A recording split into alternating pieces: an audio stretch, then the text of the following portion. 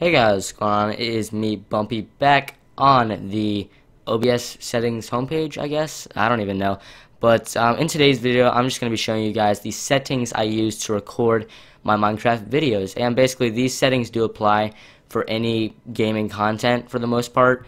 Um, and these are just what I use to record my videos. And I think the quality is pretty good. So, um, yeah, I guess we'll just go through here and see what I have. Okay, so starting off in the general tab, there's not much you need to do here. Just the language, basic, just your profile name. All this really doesn't matter. The only thing is just to enable the cursor over the project. Just check that. Um, and most of these settings will just be, you know, automatic and will like already be set when you get OBS or if you have it. So, yeah, moving on to the encoding tab. Um, this uh, section is pretty important. So I use the X264 encoder. Um, don't have this checked. Uh, the quality balance is 10. Max bit rate 7500. Same with the buffer size. Uh, and just all this down here, you can copy that as well. Moving on to the broadcast settings, this is where your videos will basically like go when you are done recording them. So you want to have it in file output only if you're recording. Obviously, you'll have it in live stream mode if you are live streaming, but I never live stream, so just stick with file output only. Um, the file path, this is just what I use to put my recordings in, just a recordings folder. Um, so that's that. Moving on to the video tab, we have um, custom resolution. Do not use the monitor resolution. That sometimes like gets weird when I use that. I don't even know what happens, but um, just hit custom and you'll want to type in whatever your monitor size is. The standard is 1920 by um, 1080 and the aspect ratio is 16 colon 9 um, so just type that in. Uh, video adapter, that's just basically what your adapter is. Um, resolution downscale, just put none and have it at 60 FPS for a good um, recording quality. Okay, so in the audio tab, this could vary for what microphone you have and how you want the audio displayed.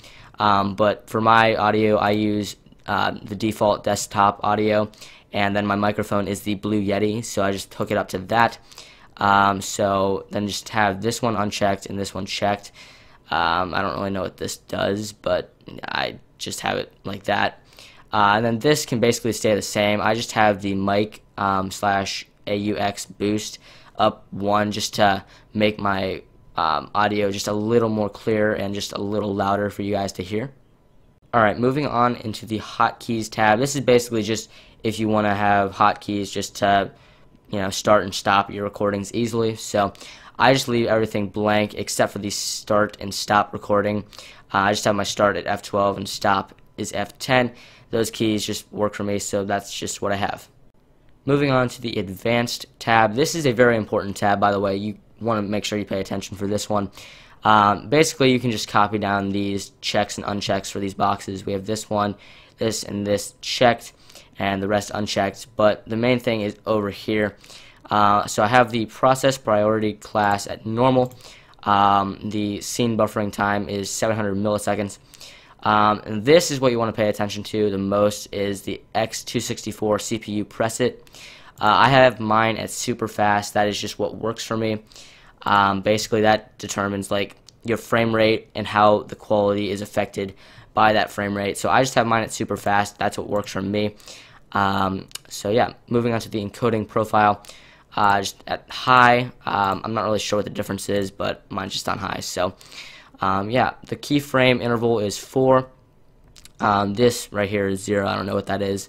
Um, the bind interface is default. I don't even know what any of this is, so just keep that at default.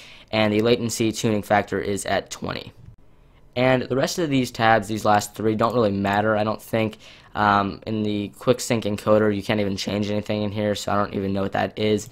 Um, the microphone noise gate, I would just keep it at what the default set is. I don't even know.